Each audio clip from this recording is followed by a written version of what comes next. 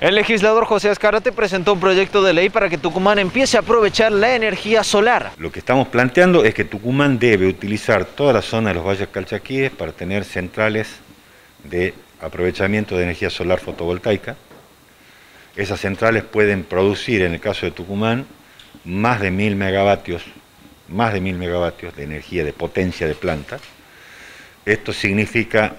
más o menos unas 1.200 hectáreas en total, son 500 hectáreas de paneles solares, casi 600 paneles solares, 1.200 hectáreas de terreno en total, en una zona que tiene más de 50.000, 30, 50.000 hectáreas aprovechables,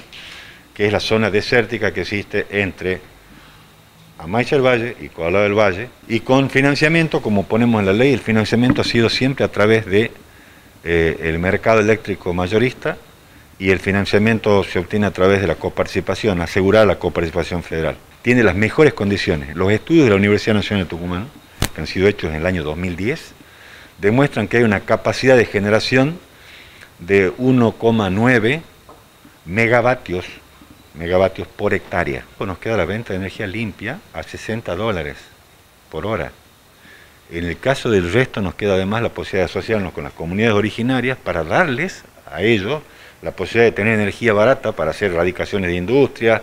para que los, que hacen dulce en el pichao dejen de pensar que tienen que quemar leña, porque tienen, puedan tener energía barata,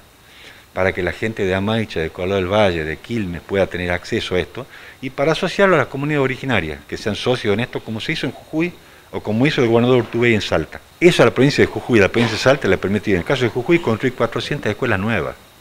Están en plan de construcción, se financian con la energía que vende Jujuy, además financian las comunidades originarias, además pagan el crédito con el Exim Bank chino.